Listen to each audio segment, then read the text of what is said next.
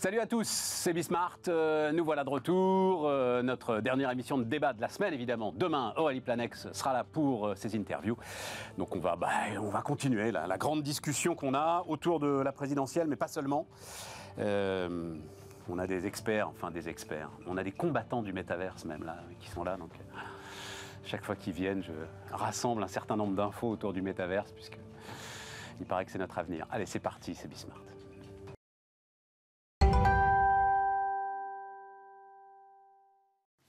Voilà, c'est même notre présent, me dit euh, Mathieu Courtecuisse, euh, le métaverse. Mathieu Courtecuisse qui euh, est Chief Metaverse Officer. Il faut des Chief Metaverse Exactement. hein, dans les boîtes. Euh, patron fondateur de SIA Partners. Et accessoirement, euh, tu es, président du Syntec cabinet de conseil en ce moment. Voilà, c'est toi qui portes Depuis plusieurs années, mais en ce moment, c'est plus. C'est toi qui portes la parole des cabinets de conseil. Donc, bah, je vais pas, on va pas se priver. hein. On va faire un petit point euh, là-dessus. Surtout qu'il j'ai que des cabinets de conseil. Ça, alors, à une autre échelle que SIA Partners. Mais Luc Breton, salut euh, Luc. Euh, donc, euh, fondateur, entre autres, de Next Gen Entreprise, Next Gen Entreprise Summit. Mais euh, toi aussi, tu fais du conseil RH. Voilà. Et Isabelle Mass, salut euh, Isabelle, associée Vae Solis Communication, conseil en communication. Voilà. Et et- et travaillé. public. Hein et affaires Et publiques. Tu as travaillé pour l'État euh, Vae Solis travaille pour l'État? travaille, On a des appels d'offres qu'on remporte parfois et Ouais. qui peuvent être pour l'État ou des entreprises étatiques. Bon. Et toi, Luc? Euh, nous, on travaille pour, euh, y compris euh, l'État et puis des, des entreprises euh, majoritairement euh, privées, mais on est un- avant tout un institut de formation avant de, de faire du conseil. Le Ouais. conseil vient plutôt en Ouais. conséquence de ce qu'on découvre Ouais. chez nos clients. Je t'ai demandé, tiens, ben, et on, peut- on peut juste commencer par là, parce que je t'ai demandé, euh, bah, hier, donc, euh, on était avec, encore un cabinet de conseil, euh, en retournement, management de transition, etc. et tout, Nicolas Doucerin, et il nous a fait le- le- le- le- le- l'étude de retournement pour, enfin, de, de- de relance des Républicains, voilà, c'était rigolo. Euh, avec cette idée quand même au cœur, à la fin, euh, il disait, la seule solution, c'est quand même de repartir de la base. Et euh, le problème, c'est qu'il y a un, problème de produit, quoi, qui est visiblement pas en adéquation avec ce que veut le client. Et donc, euh, au-delà, euh, effectivement, du management, de, d'un organigramme qui est mais pléthorique, enfin ahurissant, des problèmes de cash qui peuvent se régler.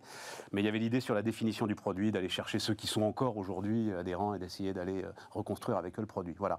Moi, c'est. Alors, Anne Hidalgo, quand tu, quand tu prends une telle claque, Derrière, il va falloir retourner diriger une équipe, et puis pas une petite quand même, c'est la mairie de Paris. Euh, tu te retrouves avec 22 000 voix quand même hein, euh, à Paris. hein, euh, 22 000 voix. Euh, c'est 2%, je crois. Elle a fait 2% à Paris, comme euh, un tout petit peu plus que ailleurs. C'est quoi les clés C'est quoi les clés de management dans ces cas-là, Luc? Bah, je crois que on, a vu que finalement, quelle que soit la, la taille des ralliements des, des personnalités ou des dinosaures de la politique qui se sont joints à tel ou tel euh, candidat, c'est pas vraiment ça qui a fait pencher la balance ou qui a attiré les électeurs. Donc moi, je pense que les gens sont pas titulaires ou propriétaires de, de leur voix. Je pense que les, les électeurs regardent euh, avant tout euh, un programme de fond, une personnalité, en l'occurrence pour le, pour le président de la République. Là, je crois qu'il n'y a pas eu de match euh, du tout. Ensuite, sur une collectivité locale, ça a cela de très différent avec une élection à la présidentielle que euh, ce qui intéresse les citoyens, c'est quand même ce qui se passe localement. D'ailleurs, je me souviens personnellement, mais je pense que c'est le cas de beaucoup de Français, avoir voté pour des gens qui sont potentiellement aux opposés de la couleur politique euh, d'adhésion euh, spontanée, mais parce que je trouvais que la personne avec son équipe faisait un travail formidable localement et que j'avais envie de lui donner toutes les chances de continuer à le faire dans la durée par euh, un système euh, basé sur l'écoute. Euh, Moi, j'ai j'ai spin-offé. Ouais, mais là, moi, c'est plus, elle était plus business, ma question. C'est, c'est, tu, tu, tu diriges, on va dire, une ETI sympathique. Euh, tout à coup, euh, on te dit, tiens, euh, tu vas tenter le coup pour le CAC 40. C'est- Bim, bim, tu te fais renvoyer dans tes... Oui, la différence, si tu prends Hidalgo, c'est que tout le board s'est fait euh, renvoyer dans, son, dans ses cordes aussi, parce que le Conseil de Paris, je te rappelle que la plupart des, des, des membres du Conseil de Paris appartiennent euh, au PC ou au R. T'as raison. Et LR, et, mais- oui, oui, oui, oui. Jadot ont fait des scores aussi désastreux. Donc, Ouais, ça, aide, change ça. grand chose dans sa position au Conseil de Au Paris. Conseil de Paris, mais vis-à-vis de son équipe. Et puis c'est pas parce que tu aimes bien ton DRH que tu vas le nommer DG. Effectivement, c'est ce que disait Luc. euh, Les gens à Paris, euh, enfin en tout cas aux dernières élections, ont apprécié ce, ce- ce programme et ont élu pour être maire de Paris. Et ça, ça peut, ça peut faire qu'ils veulent pas, ils veulent pas de cette maire de Paris comme présidente. Donc pas d'impact sur l'équipe, à ton avis, pour euh, digérer, pas, parce que à la digérer, Paris, diriger l'équipe. À la mairie de Paris, au bout de deux mandats, elle a quand même que des gens qui sont proches d'elle et très soutien. On le voit sur les réseaux sociaux. Ouais, ouais, Euh, le maire, le maire du Paris Centre soutient beaucoup son action. Euh, forcément, son équipe à la mairie soutient son action sur les réseaux sociaux et c'est un peu normal, sinon on serait pas dans son équipe. Et au Conseil de Paris, encore une fois, on n'a que des, des PCF verts, euh, socialistes et euh, Oui, c'est ça, quasiment, euh, il n'y a pas de macronistes, il n'y a Ouais, pas de il n'y a pas de mélanchonistes. C'est que des très grands brûlés, Il n'y a pas de mélanchonistes au Conseil de Paris. Même Rachida Dati, elle pourra pas faire la maline, quoi. Ça ne veut pas dire qu'avec le score qu'a fait Mélenchon à Paris, au prochain Conseil de Paris, il n'y aura pas de mélenchonisme, ça pourrait faire sens. Et, et bien entendu, ça ferait sens, mais pour l'instant, il n'y en a pas. Donc elle retourne à la maison, dans une maison qui est plutôt euh, positive. Je sur son, sur parti euh, propre, enfin sur ses équipes propres, elle a été élue quand même avec une, une minorité. Elle a, elle, a, elle a monté une alliance. Et donc, euh, elle doit travailler et composer avec cette alliance. Et de fait, euh, ça décentralise son autorité, euh, mécaniquement, je dirais. Donc ça, c'est plutôt bon signe. Ça veut dire que euh, plutôt que de, de partir sur des a priori, elle va devoir composer avec les propositions euh, des différents blocs qui lui permettent d'avoir la majorité euh, au Conseil de Paris. Et ça, c'est bah, c'est typiquement le mode de fonctionnement à l'allemande ou dans les pays Mm. du Nord, euh, de ces grandes alliances, de ces, ce qui est très peu français en fait, Mm. hein, et qui est, je pense, assez positif dans la capacité à répondre vraiment. Et alors, c'est d'autant plus vrai sur une- un enjeu local, même si Paris euh, a rien de, par- a rien de, le- de tout à fait comparable à, à une autre euh, cité, fut-elle grande. Mais euh, je pense que c'est c'est- c'est- la coalition, c'est un, un mode d'avenir, je pense, pour, euh, pour trouver des majorités. Ce sera de plus en plus dur, probablement d'ailleurs que c'est le sujet de Macron, là, de l'entre-deux tours, c'est de trouver le- les bonnes coalitions pour pas se retrouver avec euh, la rue qui va lui dicter euh, euh, son, son- son tempo euh, politique, ce qui est vraiment le risque, parce que être élu systématiquement avec moins de 30%, même si euh, il est arrivé largement en tête, mais moins de 30% des voix au premier tour, c'est avec euh, des votes d'opposition euh, quasi systématiques pour les 70% restants. hein. C'est-à-dire que c'est Mm. pas euh, si, ça- si Pécresse avait été au même niveau, euh, bah, quand même avec des positions euh,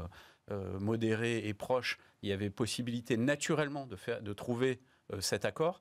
Là, il y a quand même 70% de, de révolte, hein, entre guillemets, euh, face à 30% de, de modérés. Donc c'est c'est- ouais. Mathieu? Bah, moi, je pense qu'il n'y a pas forcément, pour revenir à la question initiale, Ouais. il n'y a pas forcément beaucoup d'équivalents dans le business. Parce que là, on est sur un marché euh, qui- du type euh, winner takes all, mais sur un monopole. C'est-à-dire qu'au fait, euh, donc, alors, si ça existe un tout petit peu, par exemple, si euh, un opérateur télécom qui candidate, par exemple, à une licence euh, 5G, euh, qui met toutes ses forces dans la bataille et qui ne l'obtient pas, bon, bah derrière, il perd la bataille. Ouais. Et pour se refaire, bah, en gros, il est obligé de considérer soit la faillite, euh, Il soit. achète en euh, wholesale, en euh, wholesale, en l'occurrence. voilà. Mais, mais donc, euh, donc il y, a- il y a quand même peu de marchés comme ça où quand il arrive qu'il y a le contrat du siècle, par exemple dans l'armement, dans l'aviation, etc. Et si tu le perds, bah, tu perds quasiment tout. Ouais, t'as raison, peut-être Naval pas- Group, là, avec les Australiens, il y a peut-être eu un truc comme ça, Bah quoi. non, en fait non, parce que là, il y avoir plein de gens qui sont candidats pour racheter éventuellement les débuts de projet. euh, dans- euh, voilà. Donc même là, c'est pas encore euh, exactement ça. Mais par exemple, une grande compétition type chez euh, Emirates euh, qui dit, bah voilà, je vais acheter euh, euh, 100 gros porteurs et il n'y en a pas d'autres équivalents euh, dans les 5 ans qui viennent. On est un peu sur ce marché-là. Ouais, si tu perds, Mm. euh, c'est très très compliqué de, de t'en remettre. Mais Ouais. donc, je suis pas sûr que les, les ressources en fait ou les comparaisons avec le monde du business soient évidentes parce que si je prends mon business, moi j'ai 300, 400 compétitions en même temps, euh, tout le temps. Et bon, bah, on en perd, on en gagne. Euh, ce qui est important, c'est d'en gagner plus que d'en perdre. Et à la fin, on, on- on s'en sort. Là, on est vraiment sur un. je pense, à un- je pense à, parce que c'est ce qui me permettra une fois de plus de rendre hommage au formidable Henri Lachmann, patron de Schneider Electric, quand, euh, alors ça ne nous rajeunit pas, euh, quand la Commission européenne a cassé la fusion euh, Legrand Schneider. C'est-à-dire, tu étais en train de, as vraiment un projet d'entreprise considérable Mm. qui s'arrête du jour au lendemain. Mm. Euh, enfin, lui témoigne de ce que ça avait quand même sérieusement secoué. Ouais, mais bon, il a quand même toujours son chiffre d'affaires de, de- de départ. Certes. Là, bon, euh, ils sont en faillite. Ouais, ouais, Donc, tout à fait. euh, c'est- tu mets toutes tes forces dans ta bataille et t'as plus rien. Et t'as plus rien Non, ce qui est plus intéressant, c'est les situations de management dans les partis. Là, il va y Oui, avoir voilà. une situation de management, parce qu'effectivement, ils Oui, mais ils sont- quand même la ils sont pas- de, de leurs partis respectifs. Non, ils sont pas en situation de Mm. Hidalgo, et c'est d'ailleurs sans doute Mm. pour ça que ça s'est pas très bien passé. Elle n'est pas patronne Non, du pas- parti. pas Pécresse, elle n'est pas patronne du parti. Pas de, pas- pas de- Oui, d'accord. de Pécresse et d'Hidalgo. Mais ceux qui ont organisé le truc. Qui ont ouais. organisé euh, ces Mais- candidatures-là, ça va Ouais, être plus intéressant. ouais, ouais. Que, parce que là, c'était plus dans la situation d'un député qui se présente à l'élection euh, législative et puis qui perd et qui retourne dans sa boîte. Un député chef d'entreprise. Oui, oui, mais c'est c'est la violence de la Oh, claque. il a quoi. perdu le vote, mais dans sa boîte, c'est- il est chez lui et il fait. euh, Oui, Isabelle, mais c'est la violence du choc. Et puis on a quand même des professionnels de la politique, hein, parce que que ce soit Hidalgo ou Pécresse ou, euh, ou, les autres, ils font, ils font ça depuis qu'ils sont tout petits. Hein. C'est pas des gens qui justement alternent comme certains députés euh, du public au privé. Hein. Après une carrière assez longue euh, politique, on s'aperçoit qu'ils sont totalement inconnus dans la population française. C'est quand même aussi euh, mm-hmm. quand tu regardes les enquêtes de notoriété des deux protagonistes, Pécresse ou Hidalgo, alors qu'elles sont à la tête de grosses collectivités territoriales, en dehors de leur collectivité territoriale, personne ne les connaît. Ah, ça, je ne savais pas. Tu me l'apprends. Et, et donc, ça prouve qu'en fait, le seuil d'entrée euh, pour euh, gagner une élection de ce type, qui est quand même portée par une personne, euh, très élevé. Est très très élevé. Les barrières à l'entrée sont colossales. Et, ça relativise aussi l'exploit d'Emmanuel Macron il y a 5 ans, hmm. qui quand même en très peu de temps a réussi à obtenir un niveau de notoriété phénoménal. Et, donc deux professionnels aguerris de la politique, qui sont là quand même depuis un certain temps, n'ont pas réussi à faire ça dans une élection de ce type. Ouais, t'as raison. Et ça, c'est, je trouve que, bon, alors on sort du sujet euh, en question, mais il me semble que c'est une vraie leçon, y compris pour la prochaine fois, parce que on va rester focalisé là sur le deuxième tour, mais euh, pour dans cinq ans, oui, mais, ça, c'est alors un, élément dont on avait parlé avant le premier tour, c'est-à-dire tu sors aussi d'une époque de dinosaures qui ont siphonné les générations euh, juste en dessous d'eux. Enfin, bon, euh, Chirac, Mitterrand, etc. Et tout, euh, Juppé s'est effondré. Mm. Tu as toute une génération années 70. Même Sarkozy, il a, siphonné. Voilà, voilà. Qui, qui et, c'est vrai que là, on se retrouve avec une, une terre brûlée qui est peut-être aussi une des explications à ce que les extrêmes performe autant, tu vois. et, sur des campagnes relativement courtes, sur lesquelles il y a peu d'attention des gens sur les campagnes, euh, le, challenge est encore plus fort pour faire émerger une, une personnalité. Tu as raison. Euh, et, je pense que c'est particulièrement, enfin, dans la configuration politique qu'on a maintenant, avec euh, trois courants, on pourrait dire, je pense notamment, bah, si Macron est réélu cette fois-ci, pour la prochaine fois, dans ce, dans ce cercle de la raison, il y aura intérêt à avoir bâti deux, trois personnalités qui sont enfin, qui sont en, mode départ lancé mm. pour être très très très identifiés par la population avant même de démarrer le combat électoral. Mm. Bah, on en connaît déjà un dont la barbe a fait une mutation. Euh... Il y aura une barbe blanche, ça, sera, donc ça, sera un petit ça y est, elle est totalement blanche. Ça, c'est l'exposition Covid. Ça, c'est l'exposition Covid. Ouais, mais enfin, pour le coup, sa notoriété est ah, faite. oui, oui. C'est grâce, grâce, à Covid. C'est grâce à Covid. Ou le fait d'être Premier ministre. Le fait d'être Premier ministre, ça suffit pas bah, Jean Castex, je pense que si tu veux, s'il se balade dans la rue, je suis pas certain que grand monde le oh, reconnaisse avec toutes les conférences de presse Et sinon, euh, bah tiens, euh, Mathieu, un autre, question très ouverte, parce que moi, bon, je vous ai envoyé, j'ai listé un certain nombre de trucs, mais je suis pas sûr que ça vous intéresse. Euh, est-ce qu'il y a quelque chose dans cet entre-deux-tours là qui t'intéresse J'en sais rien. Alors, les partenaires sociaux, on en a parlé hier, c'est quand même très intéressant. 44% hein. mm. des adhérents de la CFDT qui, qui votent Macron. Mm. Je trouve que pour la négociation sur les retraites, c'est un chiffre important. J'en sais rien. Euh, non, bah, je, pense que là, on, assiste à un jeu relativement classique de clarification où tout le monde commence à regarder de fait les programmes, parce qu'avant personne ne les regardait réellement. J'avoue. Donc ça, ressemble un petit peu à ce qu'on a vécu il y a 5 ans, objectivement. Mm. Euh, enfin, moi, j'ai ce sentiment-là, avec beaucoup moins de puissance, euh, je dirais, de rassemblement du côté, du côté Macron, parce qu'il il y a une usure, en fait, du pouvoir. Mm. sur les partenaires sociaux, bah, effectivement, on voit que le MEDEF a apporté un soutien, mais timoré. Mm. Voilà. Euh, et, seule la CFDT du côté, euh, du côté euh, syndical. non, la CGT, la CGT a aussi dit ah. pas une voix pour Marine Le Pen. Oui, d'accord, mais, pas sur. Enfin, oui, non, la CGT n'a pas dit voter Macron. Non, là, il y, a des limites quand même, les gars. mais bon. à la torture. le supplice chinois. Ouais, voilà, ça. mais, mais bon, voilà, donc moi je trouve qu'on assiste à un jeu classique, et puis bon, bah là, les gens commencent à regarder un peu plus précisément mm. la nature des programmes, et il faut reconnaître que les programmes n'ont pas fait l'objet d'une ingénierie euh, euh, très forte dans, la période qui a précédé. Donc on, est quand mm. même dans une campagne un peu particulière de ce point de vue. Mm. On est là, enfin bon, je veux pas vous, mais celui de Macron est quand même d'une, enfin c'est d'un vide euh, assez impressionnant. J'avoue, je, ne l'avais pas regardé dans le détail avant effectivement mm. bah, le second tour, mais j'ai été saisi par Enfin, le chiffrage, c'est quand même, c'est n'importe quoi. Tiens, cabinet de conseil, 15 milliards par an, 15 milliards d'euros par an sur la modernisation des process de l'administration grâce aux nouvelles technologies. Ce sera sans consultant après. Et en plus sans McKinsey pour le faire. Euh, non, non, mais euh, je, pense que le chiffrage, tout le monde s'en fiche, quoi. Enfin, je veux dire, euh, et je pense pas que même dans la, là mm. aujourd'hui, dans les débats qui, qui s'ouvrent, c'est pas le chiffrage qui fait qui fait beaucoup de, mm. de poids, parce que en plus, on, on sort d'une séquence où il y a eu toujours des crises et que en fait les chiffrages, les mesures, etc. On voit bien qu'il faut une certaine euh, malléabilité pour pouvoir euh, agir. On, vote surtout pour une capacité à gouverner. Mm. Euh, regardons même le chiffrage de la coalition allemande qui est hyper précis. Bah là, ils sont obligés de le refaire complètement au regard de la, crise ukrainienne. Mm. Ça, pour le coup, ça rejoint le management. Hein, les, les, méthodes comme Beyond Budgeting, etc., qui est de débarrassez-vous un peu du budget à l'année ou euh, pire quinquennal. Euh, soyons, soyons positivement opportunistes, pragmatiques, engageons l'argent dès que c'est nécessaire et dès que c'est utile pour le business, évaluons-le au fil de l'eau et puis restons dans un cadre euh, raisonnable. Moi, ce qui me choque profondément dans cette campagne, mais comme ça m'avait déjà choqué pendant, pendant finalement tout le quinquennat, c'est quand même la faiblesse de, des mesures pour maintenir la dépense publique ou optimiser la dépense publique et je dirais la baisser drastiquement, parce qu'on a, on a quand même une dépense publique qui est complètement euh, échevelée, enfin, qui, mm. qui, qui part, euh, ça fuit dans tous les sens. C'est hallucinant comme les programmes de tous les candidats, c'est quand même la lettre au Père Noël, c'est j'offre ceci, je baisse cela. Enfin, il n'y a, a, aucune mesure vraiment sérieuse sur, bah sur la, la, maîtrise de la dépense publique, l'optimisation et la transformation au cœur des modes de fonctionnement. Sur l'hôpital, quand Macron se fait alpaguer par la foule en lui disant vous avez tué l'hôpital, les, seules réponses qu'on entend des différents candidats, c'est on va réinjecter euh, des milliards, des, alors que on pourrait probablement avoir un meilleur hôpital avec beaucoup moins de frais que, que ce qu'on engage déjà. Et pareil sur l'éducation.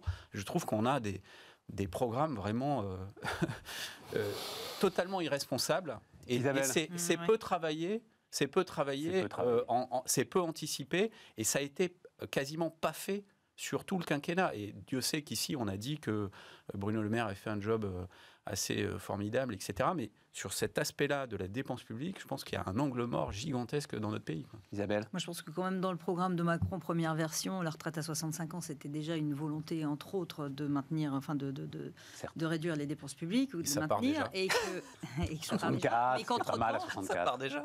Entre-temps, on a euh, une élection qui a montré 36% de personnes à l'extrême gauche. Je ne parle pas de la gauche, je parle de l'extrême gauche. On additionne les scores de tous les partis euh, qui sont plus à gauche. Euh, donc forcément, il y a forcément quelque part un petit retour en arrière sur cette modération, ça c'est normal. Mais moi, ce qui m'inquiète et qui me, rend perplexe sur cette élection, c'est surtout la vision de l'Europe. C'est-à-dire on a 40% de gens qui s'apprêtent à voter euh, un peu plus, on verra, pour Marine Le Pen au second tour. Et malgré tout, sa vision de l'Europe, on la connaît, même si elle est très, l'a floutée un peu cette fois. Euh, mais elle veut réduire la contribution, c'est impossible. Hein. Elle veut réduire la contribution au budget, au budget européen, qui est voté jusqu'en 2027. Donc de toute façon, ça ne sera pas sur son quinquennat si elle la réduit.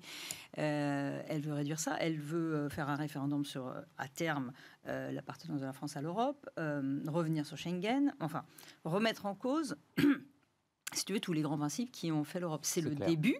C'est comme ça qu'a commencé le Brexit. Rappelons-nous la première mesure que les, les, gens qui soutenaient le Brexit et Johnson en Grande-Bretagne ont demandé, c'est une réduction de la contribution à la Commission européenne. Et puis, ça, à partir de là, ça a dérivé.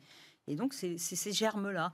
Et il y a 40% de personnes qui pensent que, effectivement, donc, euh, ou alors ils n'ont pas lu le programme, c'est aussi une possibilité, et ils ont lu que les parties qui les intéressent et qui sont impossibles à mettre en œuvre, comme la retraite à 60 ans ou, euh, ou la suppression de la TVA euh, sur les produits de première nécessité, mais lesquels? Parce qu'ils sont déjà presque tous à 5%. oui, oui, et, ils n'ont peut-être pas lu cette partie-là. Dans le sujet européen, dans le sujet européen, tu as, bon, on en a parlé, la hiérarchie des normes, c'est sans doute l'élément le, plus important, comme en mm. Pologne. Euh, la, primauté du droit national sur, euh, Notamment dans le, contexte. sur le droit européen. Euh, Mathieu. Stéphane, moi j'ai vu que tu avais critiqué un petit peu la réforme des retraites, le, le fait qu'il bougeait un petit peu le président dessus. Moi je crois que sa réforme, elle est ductile. C'est-à-dire que. Je ne connais pas ce mot. Ben, voilà, c'est-à-dire qu'en fait, on peut la modifier sans la faire rompre. Et c'est ça qui, qui me semble euh, vraiment. comment on dit ça? Ductile. Ductile? Voilà. C'est des métaux, ça? C'est des matériaux. c'est des matériaux Voilà. Donc euh, je, trouve que euh, c'est ça qu'il faut comprendre. C'est-à-dire qu'il va engager le mouvement, ça va être négocié, mais d'abord, le point important, c'est quand même qu'on arrive à quelque chose et, et que quelque part l'esprit soit conservé. Et donc, je, moi, je la qualifierais comme ça. Bon, voilà, on a une donne politique qui est un petit peu évolué euh, ben, avec euh, ce qui s'est passé euh, la fois précédente, enfin au, premier tour.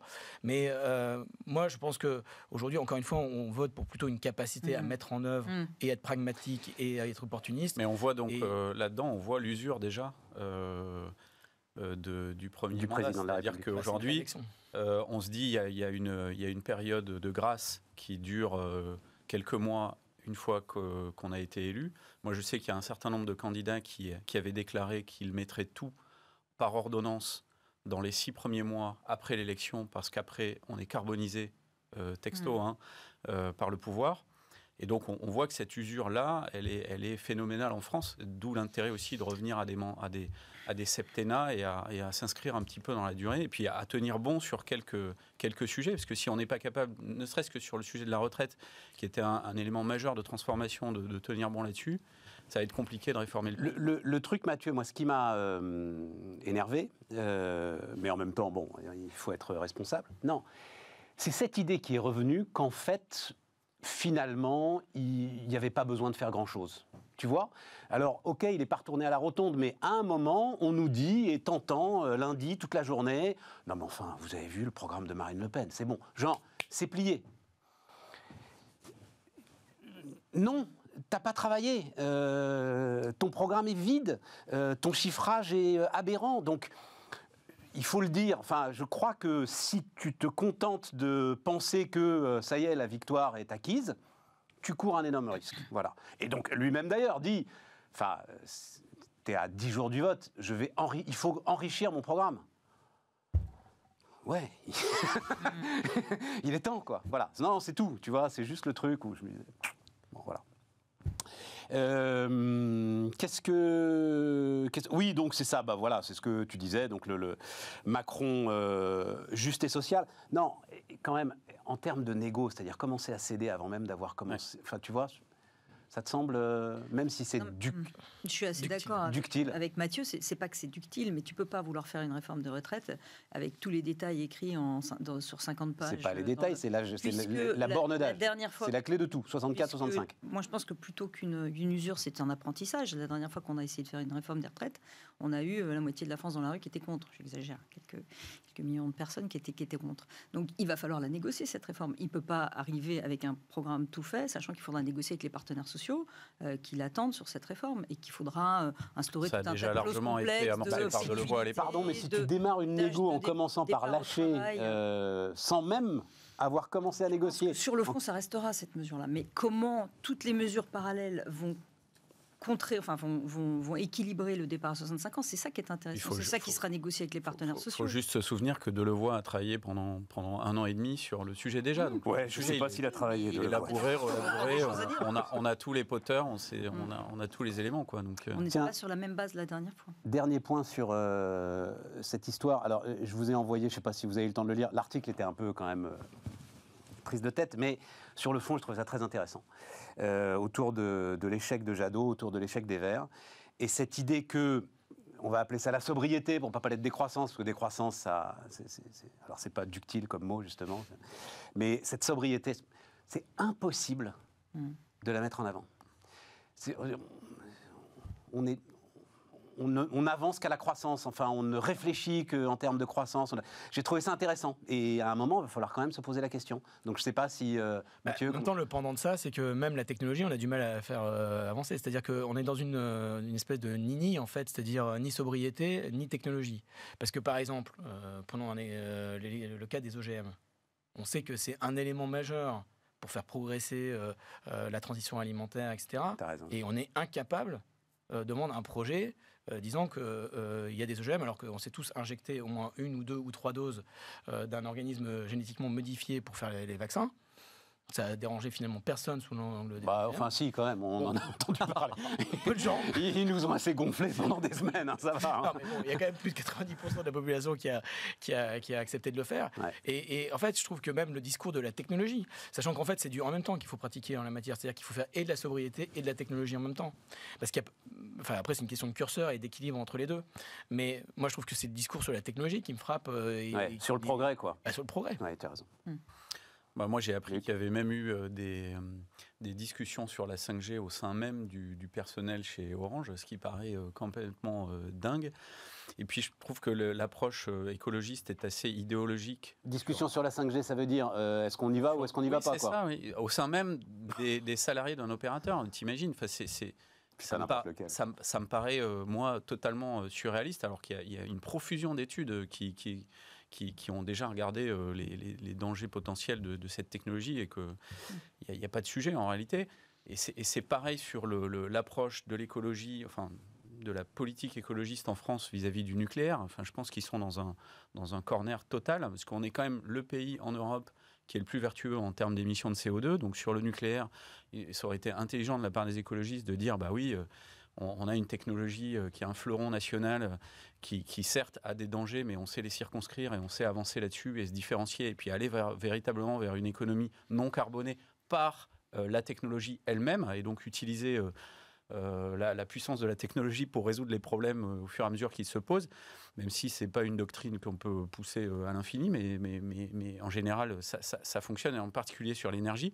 Et non, là, il y a un blocage idéologique. Donc je pense qu'ils ont des angles morts et des blocages idéologiques qui sont euh, rédhibitoires pour euh, des gens qui sont dans le business, qui regardent les choses Ouais, moi, je crois que ça va au-delà quand même. C'est, euh, ça va, ça va au-delà des verts. C'est, La sobriété. Isabelle, ce sujet de sobriété, il Là, est compliqué. L'article Quoi. sur lequel tu pointais, c'est un article sur la décroissance, qui est encore un autre sujet, mais sur la sobriété, on y vient petit à petit par des incitations positives. Euh, le recyclage, c'est une forme de sobriété. Presque tout le monde recycle maintenant, parce que c'est une forme de, de faire retourner euh, dans, certains, dans certaines chaînes euh, des, des produits qui auraient dû être jetés. Donc c'est une forme de sobriété. Ouais, Euh, la pas- réduction, la réduction de l'usage de l'eau, on y vient par l'éducation, par le fait qu'effectivement on explique qu'il ne faut pas laisser couler, couler les robinets depuis, depuis des années, ou qu'on éteint les lumières. c'est pas- pas à la hauteur du défi. donc on arrive absolument à des- à- pouillemesque, Oui, en mais il y a que l'incitation positive. Il y a que l'incitation positive, c'est des petits exemples pour te dire que sur, les, sur les, les- la taxe carbone, c'est le gros exemple de la sobriété, si tu veux. À un moment, on n'y arrivera que par ça. Tu peux pas juste dire aux gens, euh, euh, consommez-moi comme ça, sans leur expliquer, sans les inciter d'une façon ou d'une autre. Non, ce qui, ce qui se passe, c'est quand même qu'on va vers un changement des business models des sociétés. Ça, euh, je crois qu'il n'y a pas le choix. Mm. Il faudra arriver euh, à plus vendre des pneus, mais à vendre, à vendre des kilomètres Mm. roulés et à recycler tout ça et à s'assurer que l'obsolescence programmée soit euh, au musée plutôt que dans les perspectives business des marketeurs et des vendeurs et des, et des patrons d'entreprise. Mm. C- Tout ça me semble absolument acquis et on ne va pas pouvoir y échapper. Donc il faut se préparer euh, et, et ça, ça, c'est de l'ingéniosité, de l'innovation, euh, des, des- des retournements de business model structurels, et il faut y réfléchir maintenant. Euh, maintenant, il faut, il faut que la technologie nous aide aussi à le faire, Hum. et je pense qu'il faut sortir de l'idéologie. Là aussi, il faut être pragmatique. On a des atouts, euh, il faut les utiliser, mais le- le- la révision en profondeur des business models, Et ils on le va, font. On va pas y échapper. Et ils Ça, le font. Enfin, je sais pas, Mathieu, si t'en es témoin. Et en plus, la crise de la supply euh, Je crois que- accélère cette mutation. En gros, la réponse, elle est dans les entreprises aujourd'hui. Alors, il y a des éléments de régulation qui viennent pousser à ça. Il y a, l'évolution de la- des, des normes financières qui, euh, qui, qui jouent énormément, mais il y a aussi des entreprises qui sont face à leurs consommateurs, à leurs employés, et qui euh, n'ont pas le choix, en fait. Et donc, c'est là où ça, finalement, le- ça se joue principalement aujourd'hui. Mm. C'est pas, c'est pas dans l'élection. On marque une pause.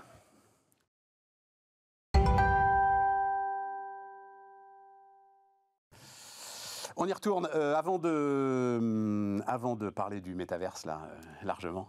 euh, non, je voulais. Est-ce que vous avez. euh, je suis sidéré par l'histoire de la Société Générale, en fait. Pas tellement sidéré par le fait qu'ils s'en aillent, bon voilà, ils s'en vont, euh, de Russie. Mais en fait, la façon dont ils ont été contraints de le faire, donc à l'arrivée, en fait, euh, les injonctions euh, de l'Occident sur euh, les acteurs amènent à enrichir un des gars qui est sans doute le plus proche de Poutine, enfin, pas très très loin. Je ne sais pas si vous avez regardé ça. Oui, c'est normal qu'ils partent à tout Moi, je- prix. Moi, je pense que ce sont des erreurs majeures de, de- de stratégie long terme. Enfin, on- n'est pas, on peut pas, on peut pas se permettre de. C'est un pari qui a été pris en 2006, hein, la Société Générale et la Russie. hein. Oui, mais À un moment où tu peux des- penser que c'est- forcément des paris long terme quand, quand on est dans des pays. euh, Enfin, on, on parle de d'un des plus grands pays du monde, etc. C'est- pas possible de, de- de laisser la place à ce point et de façon aussi rapide à, à- à d'autres puissances. Ah oui, tu veux dire c'est de partir qui a été l'erreur? Ah oui, Ah oui, d'accord. je pense. oui. Ouais, Mais je crois qu'ils n'ont pas le choix, non? Euh, Mathieu Oui, je pense que c'est invivable en termes de, de pilotage du régime de sanctions. Donc, euh, c'est euh, c'est une décision raisonnable et raisonnée dans, dans un contexte euh, qui ne leur donne pas vraiment euh, d'option. Moi, je crois surtout que c'est une leçon pour ce qui peut potentiellement se passer avec la Chine. Parce que euh, la Russie, malgré tout, c'est un poids économique euh, relativement euh, limité. Réduit, ouais. Mais si demain il y a une administration américaine qui redevient par exemple républicaine, et même avec les démocrates, il peut y avoir des régimes de sanctions qui tombent sur des, alors peut-être pas sur l'ensemble de l'économie chinoise, mais sur des verticaux, notamment dans le secteur des technologies, qui peuvent amener à d'emblée ne, ne- ne pas investir dans ces pays-là. Enfin, Aujourd'hui, beaucoup de groupes anticipent euh, le fait que euh, la Chine va devenir un endroit très complexe à opérer pour les groupes non, non chinois. Et euh, la Russie, Et que tu peux te faire nationaliser tes actifs du jour au lendemain. Ça, c'est Voilà. pas nouveau pour le coup. Mm. Oui, mais là, Ouais, mais ça s'accélère, Ça s'accélère. Hmm. Et, et, euh, et avec des, des, euh, des ampleurs euh, potentiellement nettement supérieures. Parce que malgré tout, même si alors on a un petit biais français, parce qu'il y a pas mal de- d'entreprises françaises qui sont très exposées sur la Russie, il n'y a pas beaucoup d'autres pays en fait qui ont cette équivalence-là. Un peu l'Italie, on va dire, mais enfin, c'est c'est quand même assez limité. Et donc, moi, je crois que c'est c'est, c'est une répétition de ce qui va pouvoir se passer peut-être dans les 5 ou 10 ans qui viennent avec, avec les actifs en Chine. Hmm. Et je, crois que c'est ça qui est quand même particulièrement préoccupant. Isabelle?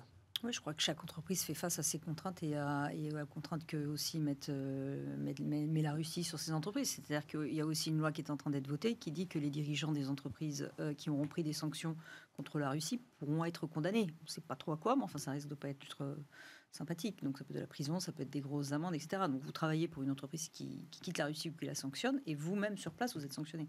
Euh, et quand même, les entreprises ont des cadres euh, russes de longue date, qui sont des gens qui appartiennent à leur entreprise et Ouais.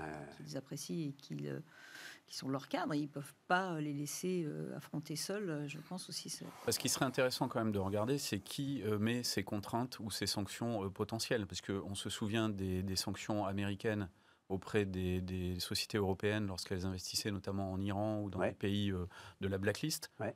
Donc qui établit cette blacklist? Est-ce que l'Europe a un pouvoir euh, vraiment politique de dire, bah, nous, euh, la blacklist européenne, elle fait foi, mais la blacklist euh, qui vient d'ailleurs, euh, pas forcément. Et donc, euh, ou alors on, on- on propose des rétorsions euh, euh, à, à- à l'échelle. Mais je pense qu'il faut se défendre, hein, parce que on va, on va à la Ah, bah, fin- là, les sanctions, c'est l'Union européenne. hein.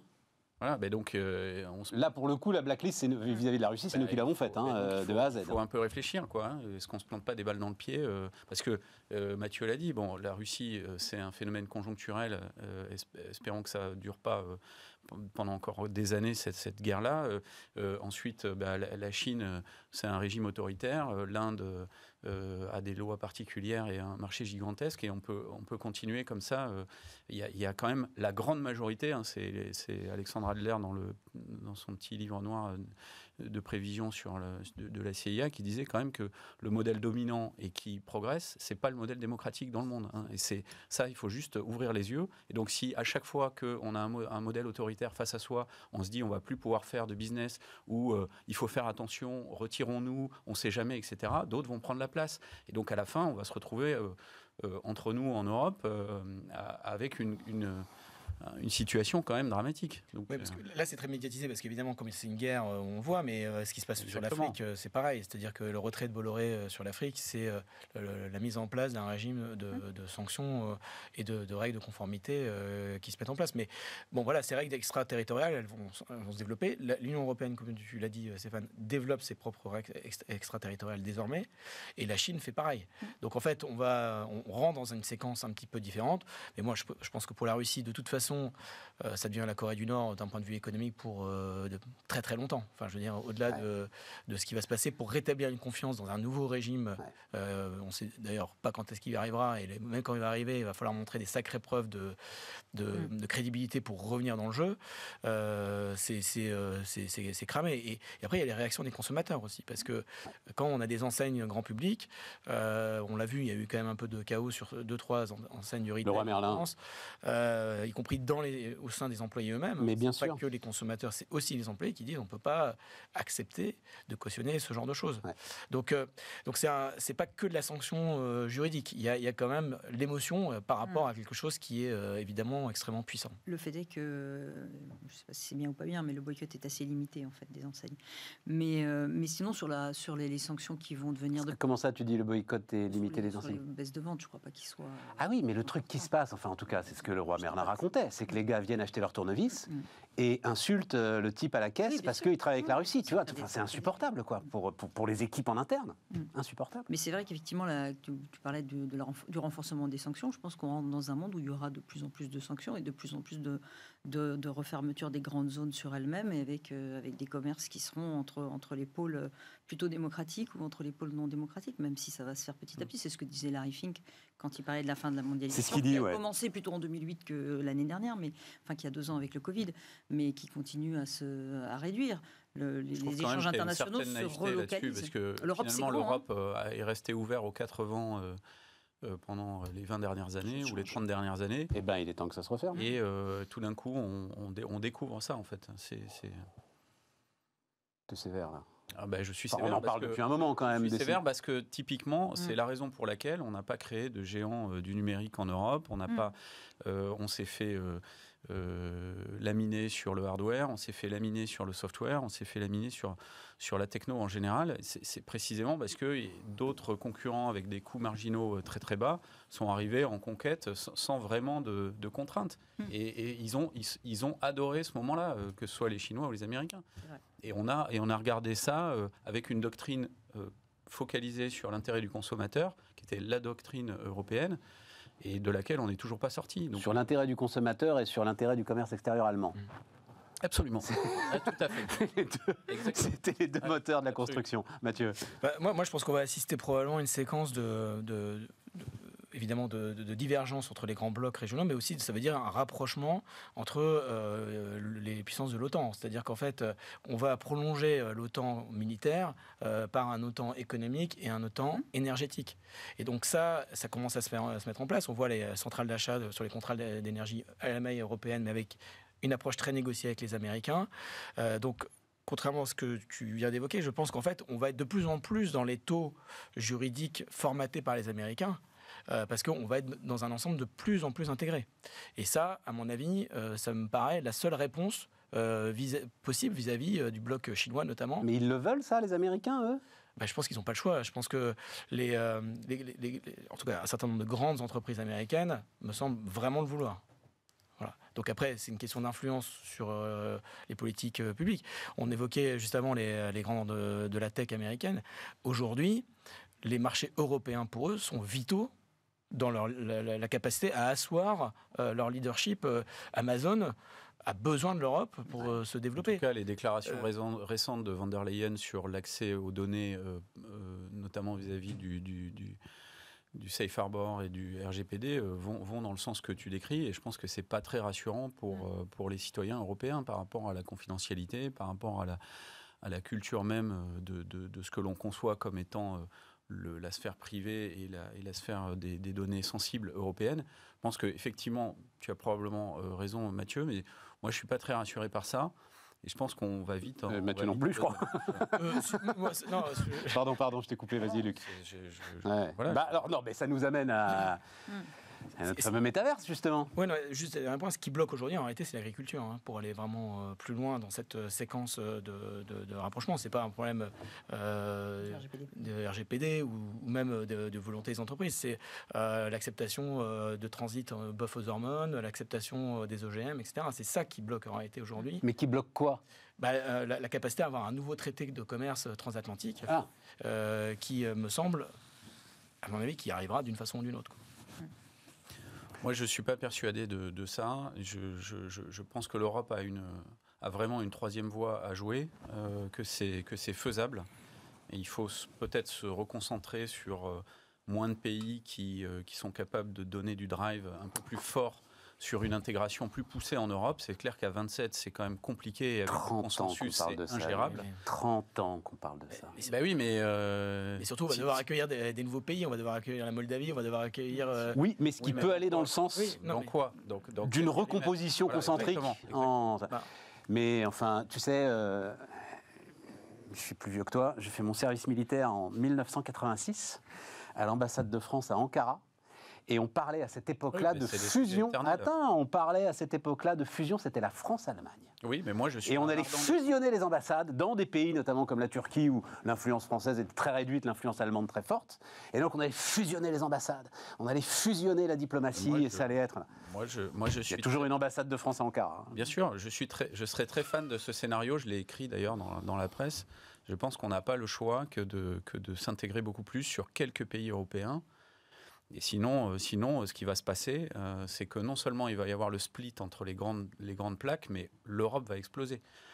Parce qu'elle sera Regarde, Luc, la- le- le- le- incapable de, prendre des, de prendre des décisions et des positions politiques. ce qui est le, pour moi le, le symbole le plus fort de tout cela, c'est notre siège à l'ONU.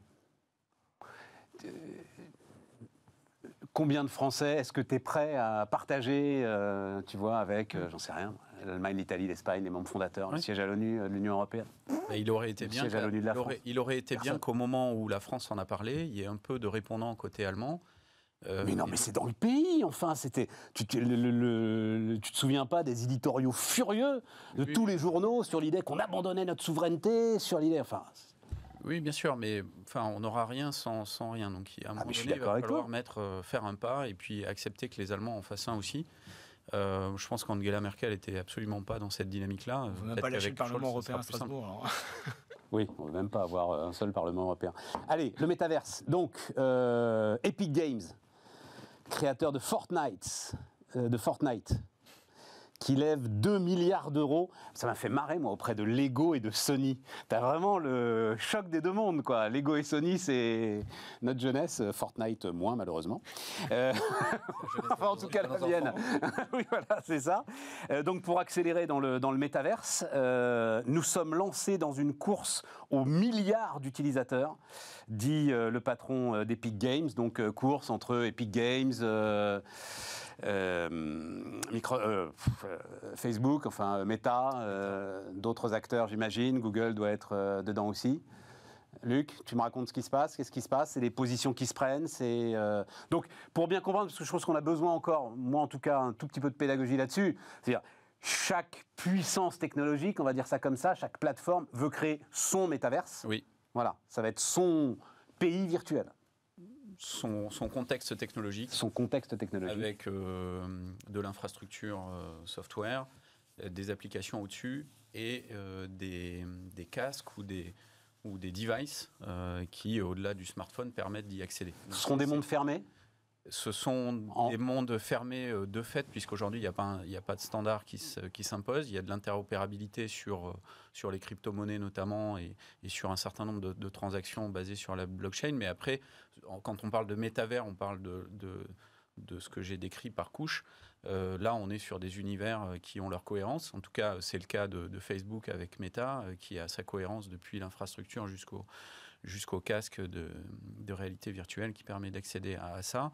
Et les, les, les, les acteurs du jeu, euh, qui sont les premiers à, Ouais. à vraiment euh, se lancer à corps perdu dans, dans ces technologies, euh, c'est First Takes All hein, également, euh, sont dans une dynamique de, de gigantisme et d'attraction maximale des, euh, des joueurs et des, euh, des Ah, mais c'est ce membres, qu'il dit. des participants. Milliards d'utilisateurs, course aux milliards Et d'utilisateurs. donc probablement que là aussi sur Métavers, euh, comme on en a parlé au niveau économique euh, avec le split qui est en train de se, de se dessiner quand même, qui est un, un peu effrayant mais qui, qui arrive, euh, probablement que sur Métavers, il y aura quand même des grandes, euh, des grandes plaques aussi euh, technologiques qui vont, qui vont séparer les, les expériences. Après, ju- ju- juste un dernier mot, c'est sur euh, l'afflux de capitaux. Euh, je discutais euh, la semaine dernière euh, j'ai publié d'ailleurs un article là-dessus sur les DAO, hein, Decentralized Autonomous Organization. Donc c'est la capacité de euh, lancer euh, sur la base de smart contract une entreprise. Donc ça, ça se passe pas au Delaware, mais ça se passe au Wyoming. Vous pouvez lancer une LLC, donc l'équivalent d'une société anonyme, sur blockchain, euh, ce qui ne fait pas euh, d'elle euh, qu'elle est efficace, puisque derrière, il faut quand même amener- de la gouvernance. Mais la personne qui était euh, très en pointe sur ces sujets-là, avec laquelle je, discutais, euh, me disait euh, on voit un afflux euh, d'investissements euh, gigantesques euh, sur ces sujets-là pour des gens qui, ont compris que le futur euh, de l'économie allait se jouer là. En tout cas, eux en sont convaincus et qui ne souhaitent plus ramener leurs capitaux dans euh, l'économie, je dirais, euh, traditionnelle. Et ça, c'est très intéressant. Et, je termine là-dessus. Il m'expliquait qu'on était en train de passer, en tout cas, il l'observait, d'une notion d'entreprise ou d'association euh, à, but non lucratif à une notion nouvelle de communauté. Et communautés qui peuvent contracter avec potentiellement des milliers, des, centaines, des milliers, des dizaines ou des centaines de milliers de membres sur euh, la base de ces, euh, de, ces, de ces nouveaux contrats de manière extrêmement fluide. 2 milliards? Oui, bah, ça a comparé avec les, les 10 milliards euh, annuels investis par euh, Meta. Enfin, Ouais. Voilà. Non, mais euh, je pense que c'est assez logique. Aujourd'hui, on, on travaille sur. En gros, il y a- on sait qu'il y a à peu près déjà 150-200 métaverses qui ont une chance de survivre à la fin dans les euh, 5, 6, 7 euh, qui resteront peut-être un peu moins. Euh, donc l'enjeu, il est effectivement, comme l'a décrit Luc, euh, pas mal sur euh, les sujets d'interopérabilité. Euh, il y a l'importance des métaverses et des écosystèmes et des gateways pour accéder à, cela, mais il y a aussi des plateformes transverses qui vont se monter pour faire des NFT factory, pour faire des univers euh, factory, parce qu'on ne va pas s'amuser à redévelopper dans chaque métaverse euh, son- sa propre boutique. hein. donc, euh, parce que c'est comme un peu aujourd'hui hein, sur un Son téléphone avatar. ou son avatar. C'est-à-dire qu'en fait, bon, aujourd'hui, quand on est producteur d'une app, qu'on a à se taper Android et iOS, on n'a pas forcément envie de se taper euh, 10, euh, 10 environnements. Donc, donc à la fin, il y aura ces, ces espaces de créateurs de, de- de NFT et de- et d'univers qui vont jouer un rôle aussi important que ceux qui vont eux-mêmes opérer euh, ces, grands espaces. Là, le point particulier, c'est que c'est le monde du jeu vidéo qui, quand même, a la main pour formater euh, les codes et la façon dont ils vont opérer. Euh, ça a comparé aussi ces 2 milliards avec les 70 milliards que Microsoft met euh, sur l'acqui- l'acqui- l'acquisition de Activision pour être dans le game, pour le coup, euh, dans, ces- dans ça. Donc effectivement, Activision, pour toi, c'est clair, c'est le métaverse. oui, et- Ouais, et c'est oui, ça la cible. L'agrégé avec la communauté du travail, en plus. Ouais. C'est-à-dire qu'en fait, ils vont maîtriser euh, plusieurs éléments de la chaîne. Office, Activision, Voilà. métaverse. Ouais. Et, m'intéresse. et- et c'est- là-dessus que ça, ça va se, ça va se jouer. Euh, je voudrais juste dire quand même que la France a une petite chance. Enfin, Ubisoft a annoncé aussi euh, euh, faire ça. Il y a la- évidemment Dassault Systèmes qui est quand même assez puissant sur les jumeaux numériques. Donc euh, voilà. Euh, Sandbox, c'est quand même des fondateurs français. Hein, donc euh, Ah, je savais pas. oui, oui, alors il faudrait les inviter, hein, mais, euh, mais, euh, mais ah, ils se déclarent pas français, mais ils sont des Français. Ah, euh, d'accord. voilà, mais savais pas. donc donc il y a, il y a quand même euh, une vraie capacité ici, et moi je crois que le plus important pour nous, c'est surtout euh, avoir des écosystèmes euh, de formation et de préparation euh, des personnes à venir créer ces espaces-là. Euh, voilà, il faut transformer, il faut multiplier euh, les écoles 42, les gobelins, etc., euh, du monde du, du méta, euh, pour, pour être dans, dans, dans le jeu et avoir les talents pour pouvoir euh, euh, fournir les, les pioches et les pelles pour construire. AXA qui. euh, euh, bon, J'ai eu la chance de discuter avec le. le- la DSI euh, là-bas, euh, à la Défense, donc ils ont acheté un petit, un petit terrain sur euh, Sandbox, comme, un peu comme tout le monde. Comme Carrefour. Parce que c'est ça qui est Ouais, intéressant. c'est pas c'est très cher d'ailleurs, hein, parce que enfin, je vous le donnerai pas parce qu'il m'a il m'a juré que ça, ça devait rester confidentiel. Mais en fait, c'est pas très cher. Je pensais que c'était cher, c'est pas très cher. Non. Non, le- juste le point intéressant, il me disait si tu veux aujourd'hui euh, attirer des développeurs, il faut que tu Les mecs ne veulent bosser que là-dedans. Voilà, ça va dans ton sens. C'est ça qui est intéressant, c'est Ouais. ce que vont en faire les entreprises. Je pense Ouais. qu'on parle beaucoup dans, dans les, dans les journaux, dans les médias, de, de ce qu'en fait le grand public et d'acheter des baskets euh, super chères pour les porter dans le métavers. Je pense que ce qui est intéressant, c'est ce que vont en faire les entreprises. Ouais. Tu as tout un tas d'activités comme euh, des réunions de tes groupes euh, internationaux qui peuvent se tenir dans le métavers. Euh, tu, tu peux organiser des salons quand tu vends des produits assez pondéreux, assez gros comme des bateaux ou des voitures. Au lieu de les déplacer, tu peux les vendre dans le métavers. Donc tu auras aussi tu as un enjeu de formation des commerciaux qui ça, ça sera un outil commercial avant d'être enfin au-delà d'être un outil marketing, ça sera un outil commercial pour les pour la, pour la vente. Et je pense que là on a Donc on t'es a- dedans toi aussi là, euh, Isabelle C'est euh bien que je suis très tech. Nous, on a, un bureau- nous, on a un bureau- on a un Bon, bureau moi je suis à la rue. On a un bureau dans Altspace. T'as un bureau dans Altspace, Altspace, qui est, qui est une autre plateforme. euh, Microsoft. Ouais, et, en fait, euh, alors là, Parce qu'il y a tout un tas de gens qui n'ont jamais mis, le- qui n'ont jamais joué aux jeux vidéo euh, dans nos générations aussi, et ou qui n'ont jamais utilisé le, le casque, tu vois, le, le- le device qui est quand même un petit peu complexe. Si tu J'en dois fais partie. euh. Si tu dois l'utiliser dans ton travail, tu seras formé, tu auras une formation, et là, tu pourras après projeter les utilisations personnelles. Mais dans Mais euh, tant que tu l'as pas utilisé une première fois, c'est assez dur. Il y a, il y a un espèce de, de petit pas à l'entrée. C'est pas très compliqué, il faut pas non plus être. Enfin, il y a des gens qui savent toujours pas se servir d'un smartphone. hein. En tout cas, une des Donc, bonnes. euh, Attends, attends, Mathieu, je voudrais que. Oui, non, en fait, parce que euh, tu évoquais euh, combien AXA a investi, etc. Mais il y a des métaverses où on, achète, d'autres où on, on ne fait que louer, en fait. Où euh, voilà. et, à- date, par exemple, dans, dans Horizon ou Altspace, c'est zéro.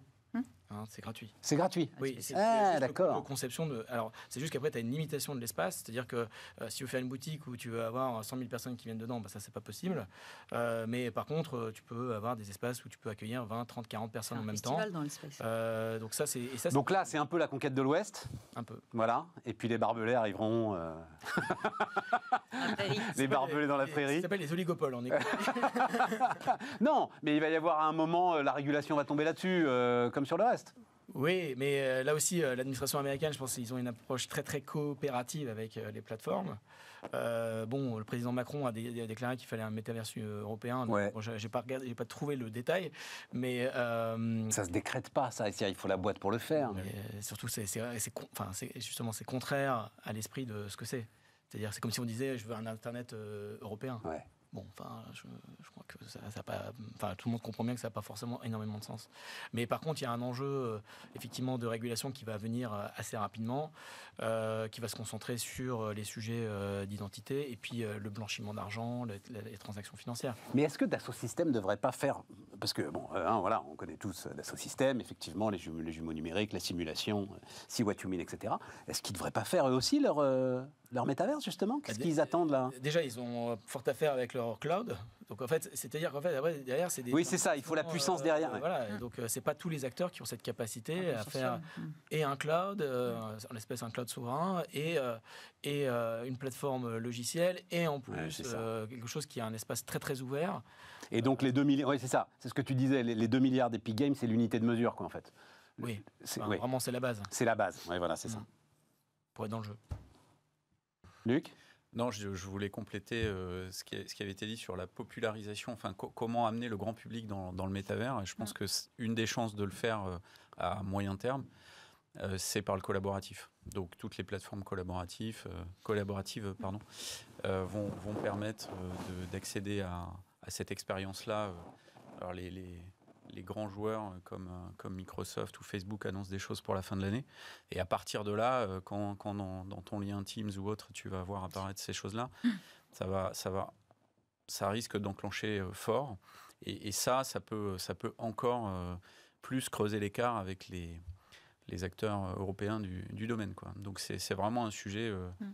qui, qui va devenir un différenciateur euh, très très fort. Et il n'y a pas de temps à perdre. c'est pour ça, euh, Ma- Mathieu l'a très bien dit, il faut, il faut qu'on ait les, les écoles 42 ou les, ou les fabriques euh, à, à développeurs de ces mondes-là euh, chez nous, en, en Europe, le plus vite possible. Mais on les a. Le, le- le paradoxe, Ouais. Mathieu, c'est qu'on les a. Je veux dire, France On Num a a les des- briques, des- des- des masses de formations vides, mais elles sont là, elles sont disponibles, le pognon est disponible. Enfin, ça, c'est un truc. euh, Oui, enfin, après il faut des formateurs, enfin, il y a quand même Oui, mais- système mais, enfin, à ouais. créer. Mais c'est les talents d'abord, les capitaux après. Enfin, je veux dire, en fait, Ouais, on ouais, sait très bien que si on a des écosystèmes qui tournent, on aura les capitaux qui viendront. Euh, il reste cinq minutes, euh, j'allais quand même pas. euh, non, mais donc tu es, euh, je l'ai dit, le, le- le- le patron du Syntec. euh, comment ça s'appelle d'ailleurs? Syntec Syntec Cabinet de Conseil. Conseil? Syntec Conseil. Syntec Conseil. Non, on va pas refaire l'histoire. Quelle, euh, quelle leçon tu en tires? À l'arrivée, ce qui a quand même été, j'imagine, pour toi un choc, pour la profession un choc, la, la, virulence euh, du truc. Quelle leçon tu en tires à l'arrivée? On parle évidemment des cabinets de conseil. Bah, nous, on est parti un peu naïvement dans cette histoire en se disant bon voilà, il y a un besoin de transparence, on d'explication, donc on, voilà. Et d'ailleurs, on a un, un métier qui s- qui est assez euh, dans l'ombre et on n'explique pas toujours très bien. On- n'est pas très bon pédagogue sur ce qu'on fait, euh, quelle est l'utilité, etc. Donc, euh, on l'a vu un peu comme une opportunité de nous expliquer et sans, aucun problème de transparence. Après, on s'est retrouvé au milieu d'une polémique politicienne avec quand même bon, bah, une institution officielle, donc le, Sénat, qui, a introduit des biais dans son approche. Euh, c'est-à-dire euh, en nous interdisant par exemple de donner des éléments contractuels qu'on avait euh, sur certains acteurs de la puissance publique, en l'espèce les collectivités territoriales, alors qu'ils nous demandaient le détail du détail de n'importe quelle entreprise qui avait l'État au capital. Quand même. Donc là, on a réussi à réduire le scope de l'investigation. Et quand tu dis interdire, c'est interdire. Oui, c'est-à-dire qu'on a été plusieurs à demander pour pouvoir donner le les, les contrats, en tout cas les éléments contractuels avec les collectivités territoriales. Ils nous ont dit non, c'est interdit. Et moi, quand j'étais auditionné, on m'a interdit d'en parler. Voilà. Ça s'appelle une démocratie, euh, selon euh, Gérard Larcher. Donc, en fait, voilà, on est, euh, on, a- on s'est retrouvé là-dedans. Bon, il y a eu des éléments autour qui, qui, qui plaident pas en notre faveur non plus. hein. Donc on a, on a fait, voilà, on a fait un acte de transparence, mais avec une difficulté de se retrouver au, au plein milieu d'une polémique politicienne et euh, bah, dans- instrumentalisé dans une campagne Oui, électorale. c'est ça, avec, parce que ce que tu dis là, je- encore une fois, mais, mais ce que tu dis là laisse entendre que dès le départ, il y a la volonté de monter une manip. Bah, ça ne vient pas de nulle part, ça fait un certain temps que c'est euh, traité. Moi, mon analyse, c'est que tout est parti de, des Macron Leaks. C'est-à-dire qu'en fait, euh, quand. D'il y a 5 ans, là? Oui. Euh, C'est-à-dire qu'en fait, dans la séquence électorale d'il y a 5 ans, euh, quand il y a eu les, les- les fuites de données, Ouais. euh, on, s'est aperçu qu'il y avait des consultants qui travaillaient de façon volontaire et pro bono pour euh, La campagne pour Macron. la campagne Macron, comme euh, certains le font dans le domaine de la communication, etc. Enfin, ça Ouais, existe, euh, voilà. Et, et- et en fait, il n'y a pas eu de temps pendant la campagne pour pouvoir réagir et aller enquêter, entre guillemets. Donc, il y a des choses qui se sont mises en place au fur et à mesure du temps pour essayer de voir si, quelque part, il n'y avait pas des formes de renvoi d'ascenseur entre euh, des gens qui auraient potentiellement participé à la campagne il y a 5 ans et regarder s'il y avait des contrats qui étaient venus euh, par la suite. Donc, je, je crois que le- assez. Ce qui est ça, assez légitime, mais Oui. euh, derrière, ça, ça dérive. Oui, mais enfin, là, il y a toute une machinerie qui s'est mise en place euh, qui, finalement, euh, agresse, entre guillemets, une filière qui compte 50 000 professionnels, Ouais. qui, de fait, travaille assez peu pour, pour la puissance publique, qui, quand travaille pour la puissance publique, ne travaille pas que pour une sensibilité politique, mais aussi pour des collectivités territoriales, euh, la ville de Paris, euh, la région Île-de-France, pour ne citer euh, que, que ces deux collectivités. Et au fond, on nous a dit non, il faut parler que, en gros, des 3-4 contrats qui ont été donnés pendant la crise Covid. Voilà. Et, et, euh, bon, donc encore une fois, je pense que derrière, on va essayer de travailler de façon apaisée avec, euh, euh, dans un contexte post-électoral sur quel est notre rôle, quelle est notre utilité. Il va falloir refonder pour toi la relation entre l'État, la- Moi, je pense que notre- le problème, en l'espèce, c'est pas nous. Le problème, c'est la vraie question, c'est la gestion managériale de- des hauts fonctionnaires ou du haut encadrement au niveau de l'État, qui aujourd'hui se désespère un peu. C'est-à-dire qu'en fait, euh, aujourd'hui, euh, il faut euh, aller au-delà de la réforme de l'ENA, il faut repenser en fait à quoi servent les hauts fonctionnaires, dans quelles mesures ils s'inscrivent, est-ce qu'on a un, un spoil système, est-ce que voilà, est-ce qu'on gère les carrières de ces personnes ou on accepte qu'il y ait des allers-retours avec le privé? Enfin, c'est ces questions-là qui sont posées. C'est pas les cabinets de conseil. Les cabinets de conseil, on représente moins de 1% des allers-retours entre le, le public et le privé dans, le, dans le- les hauts fonctionnaires. Ouais. Donc c'est, on n'est pas le sujet. Ouais. Mais par contre, là, il y a un vrai problème parce que moi, de mon point de vue en tant que citoyen, euh, l'État doit pouvoir disposer euh, des meilleurs talents pour répondre à ses missions stratégiques. Et là, euh, moi, je ne dis pas qu'il faut qu'il n'y ait pas de cabinet de conseil. Je dis évidemment, les cabinets de conseil peuvent être utiles, mais il faut qu'il y ait une maîtrise au sein de l'appareil de, de l'État sur les fonctions principales et stratégiques de l'État. On est au bout, euh, les amis. Il... il nous a... il- il nous a amenés au bout, mais on en reparlera. On aura l'occasion d'en reparler. Merci beaucoup. Merci. Euh, merci à tous. Donc demain, euh, Aurélie Planex et euh, nous, on se retrouve non pas lundi, mais mardi pour continuer nos débats. Bonne soirée.